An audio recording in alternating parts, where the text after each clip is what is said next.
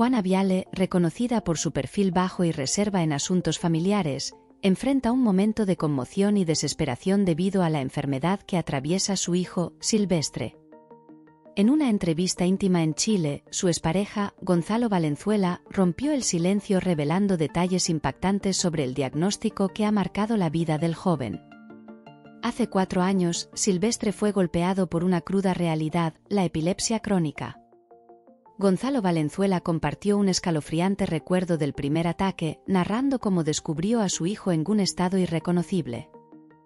Valenzuela expresó su angustia al recordar esos días desgarradores, describiendo cómo se vio obligado a cargar a Silvestre en brazos para proteger a su hermano de la impactante escena.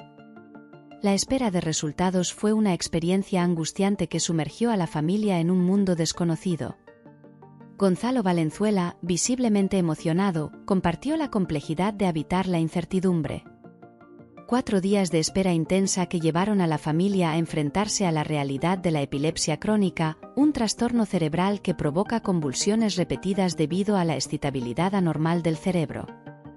La reconocida revista internacional de medicina Medica Plus arroja luz sobre la epilepsia crónica, calificándola como un trastorno cerebral desencadenado por cambios en el tejido cerebral que tornan al cerebro demasiado excitado. En este estado de excitabilidad anormal provoca señales cerebrales anómalas, desencadenando convulsiones repetitivas e impredecibles.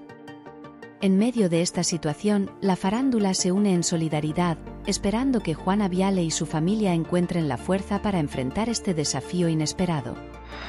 La angustia en la farándula es palpable, y los seguidores de la actriz envían mensajes de apoyo en este difícil momento.